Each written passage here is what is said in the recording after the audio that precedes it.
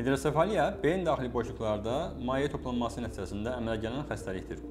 Hidrosefaliya xəstəliyi hər yaşda görülsə də, daha çox uşaqlarda rast gəlinir. Hidrosefaliyanın səbəbləri çox müxtəlifdir. Belə ki, bətndaxil dövrdə dölün keçirilmiş olduğu infeksion xəstəliklər, anadan keçirmiş ananın keçirmiş olduğu infeksion xəstəliklər, bətndaxil dövründə keçirilən hər hansı bir beyin travması, beyin daxili qanama və ya hər hansı bir kist da hidrosefaliya səbəb ola bilər.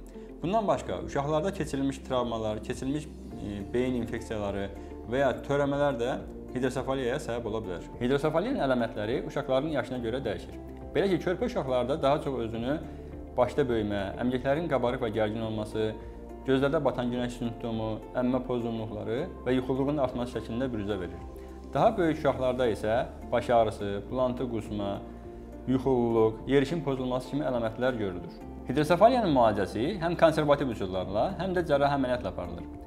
Pasientin ətraflı müayinəsi nəticəsində ona müvafiq müalicə üsulu seçilir. Belə ki, bəzi xəstələr dərmanla müalicə olunarkən, digər qrup xəstələrdə isə cərrahi müalicə, yəni endoskopik üsulla müalicə və şuntlama əməliyyatından istifadə olunur. Təəssüf ki, müalicə olmadığı təqdirdə hidrosefaliya xəstələrdə komaya və hətta ölümə səbəb ola bilər.